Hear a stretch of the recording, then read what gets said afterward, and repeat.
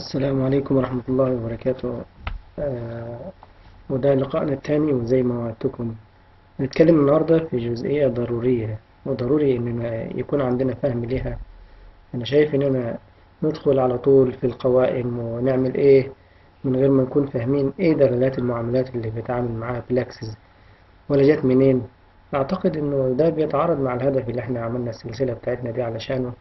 عشان كده نفهم الأول ال workflow لل Plaxis وال model parameters عشان بعدين آه، لما يدخل بيها في أي قائمة وأشوف الرموز ال- بتاعة ال parameters أو الخطوات اللي بيمشي بيها ال Plaxis أكون فاهم وعارف آه، الدنيا ماشية إزاي وأنا شغال ما يكونش تايهة معايا الأمور.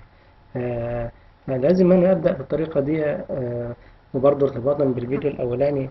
مش هدخل أنا أخبط في القوائم و... ودي بتعمل كذا ودي بتيجي إزاي ودي مش عارف إيه.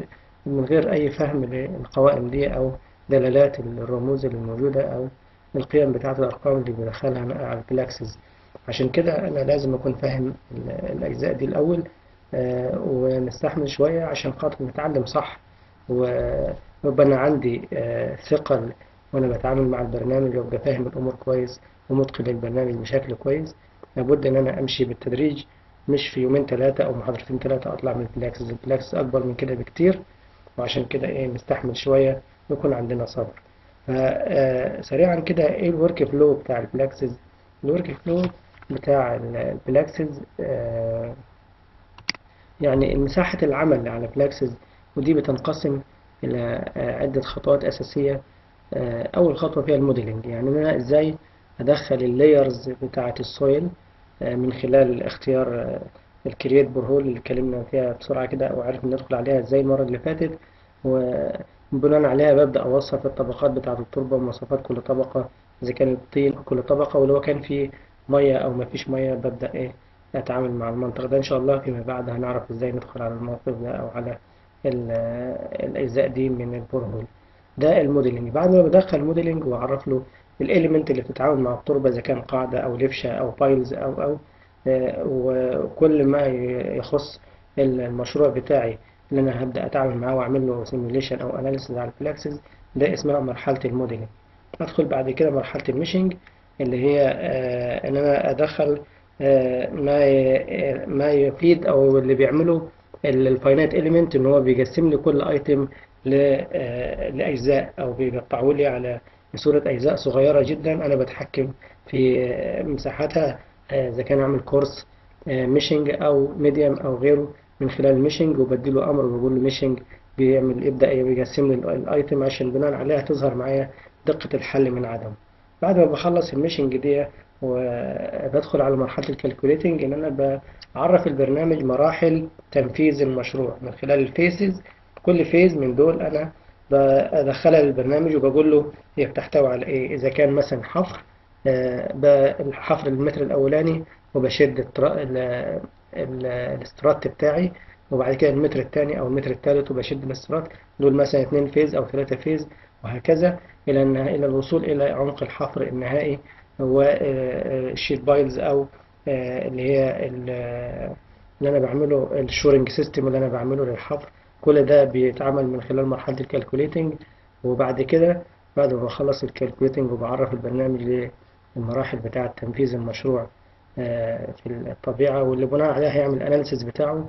ببدأ إيه؟ بعد ما بيخلص بيعمل لي viewing لل results دي أو أنا بعمل له viewing بدخل أشوف ال displacement وأبدأ أشوف ال- moment أشوف ال normal وأبدأ أشوف ال stress وال strains وكل التفاصيل اللي تهمني اللي من خلالها بتوقع إيه إيه موقف المشروع بعد ما آه، أنفذه. إيه اللي هيحصل ممكن بالظبط على المدى البعيد.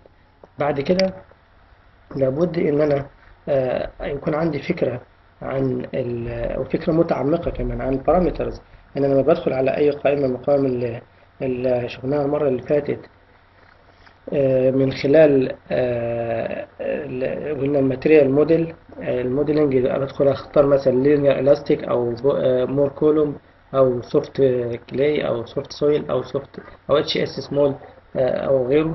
آه، كل قائمة من دول لما بدخل على ال parameters بتاعتها بتظهر لي مجموعة من المعاملات هو بيطلب القيم بتاعتها. القيم بتاعتها دي أنا أوصل ب- لها من فين؟ أوصل لها من خلال التجارب المعملية اللي اتعملت على العينات التربة في المعمل من خلال ال triaxial test أو ال oedometer test أو ال compaction أو غيره. إيه هي المعاملات دي؟ اللي بيطلبها وكل موديل من الموديلات اللي هو linear elastic أو Mohr Coulomb أو غيره بيطلب مني مجموعة من المعاملات أو ال parameters اللي بدخلها له كقيم عشان آه، يكتمل معايا الموديل ده وتعريفه بالنسبة لل Plaxis ويبدأ إيه يكمل معايا في باقي الخطوات. فبيضاو بلاقي مثلا بيظهر معايا ممكن يظهر معايا ال gamma bulk اللي هو الايه اللي هو الكثافة الرطبة للعينة ودي الكثافة الطبيعية. من أي عينة من الطبيعة بروح أجيبها يكون لها gamma bulk ودي بتعين في الموقع في المعمل بشكل معين. يبقى كده gamma saturation اللي هي إيه؟ الكثافة بتاعتي في الغمر أو كثافة العينة المغمورة. ال E اللي هو ال Young's modulus أو ال stiffness وده من خلال المنحنى اللي بحصل عليه العلاقة ما بين ال strain وال stress ممكن أوصل لحسابات ال E أو ال Young's modulus في حاجة اسمها E 50 أو ال E 50 ref دي هما الاثنين هما نفس القيمة أو هما نفس الرمز يعتبر آه، اللي هي ال Plaxis بيسميها triaxial loading stiffness ولكن في في ال geotechnical engineering أو في المعمل أو كده بيسميها ال secant stiffness ان drain drained يعني إيه؟ العينة المصروفة. إن أنا بعمل ال triaxial الاختبار بتاع ال triaxial بلاقي إن أنا ممكن أتحكم في إن أنا أفتح المحبس ان يتعمل لها drained أثناء التحميل أو يتعمل لها undrained يعني بغلق المحبس ده وبالتالي آه بتكون عينة undrained هنا في المرحلة دي ال E 50 ال E 50 أو ال E 50 ref دي اسمها ال secant stiffness وهنشوف المنحنى إيه مكان ال secant stiffness ده إيه بالظبط. فين؟ ال E oed أو ال E oed ref برضه من كلمة oed يعني جاي من كلمة oedometer وده هو ال tangent stiffness لل oedometer لبداية التحميل. أول ما أبدأ أحمل ذراع ال oedometer في بداية التحميل بحسب ممكن أقدر أحسب ال tangent stiffness ده. هو ال Plaxis زي ما إحنا قلنا بنسميه oedometer loading stiffness اللي هو إيه؟ اللي هو آه، معامل الجساءة في مرحلة آه، تحميل ال oedometer أو بداية تحميل ال oedometer. ال E ur أو ال E ur ref دول برضو معاملين لنفس ال- القيم أو نفس المعاملين. ur دي اختصارها كلمة unloading وال r معناها reloading. وبالتالي هو ال unloading reloading stiffness أو اللي هو ال triaxial unloading stiffness وال E ur ref دي بتساوي 3 من ال E 50 اللي إحنا آه، شفناها هنا. ال E 50 اللي إحنا شفناها هنا هي آه، اضربها في 3 بتديني ال E ur لل ref وال E oed ده اللي هو أو ال- ال ref أو ال E oed ده هو عبارة عن واحد ناقص ال Poisson's ratio ال E 50 على واحد ناقص 2 ال Poisson's ratio في واحد زائد ال- Poisson's ratio. آه، ده المنحنى اللي قلنا عليه اللي هو من خلاله أقدر أوصل هو عبارة عن علاقة بين ال deviator stress اللي هو السيجما واحد ناقص سيجما ثلاثة ال axial strain اللي هو ال- الانفعال آه، بتاعي. طب إيه سيجما واحد ناقص سيجما ثلاثة؟ أنا triaxial لما أبدأ آه، أدخله العينة وأبدأ أسلط عليه ضغط ال water بس للعينة فالحمل الأفقي اللي بيكون بيحيط بالعينة من جوانبها اسمه سيجما ثلاثة. والضغط الرأسي اللي هو من فوق ومن تحت حوالين العينة من فوق وتحت العينة ده اسمه سيجما بيسميه سيجما واحد. لما أنا باجي أزود الحمل الخارجي اللي أبدأ أضيفه على العينة عشان خاطر أبدأ اختبار الجزئية الخاصة بالتحميل آه، الحمل الخارجي ده هو الإضافي اللي هو إيه؟ هو ال deviator stress اللي هو إيه؟ الحمل اللي اتحط على سيجما واحد فزادت معايا. بطرح منه الحمل سيجما 3 بيديني الحمل اللي أنا اضفته بشكل فردي هو ده ال deviator stress فممثل المنحنى اللي معايا ده آه، اللي هو المنحنى اللي هو الخط ده اللي هو الميل بتاعه في الأفق واحد والرأسي الاي اي أو الاي البوس الستيفنس مودولس أو اليانجس مودولس في هنا خط تاني آه، يعتبر برضو مماس أوصل له إزاي؟ لأن أنا عندي هنا ال qf ده اللي هو ال failure line. لما بيحصل failure للعينة عندي أعلى نقطة في المنحنى باخدها أفقي كده يخبط معايا في ال deviator stress. المسافة دي اللي ظهرت معايا بقسمها على نصين. النص ده ببدأ أمده لغاية ما يخبط الخط المنحنى بتاعي وأوصل من الصفر للنقطة دي وأمدها لفوق.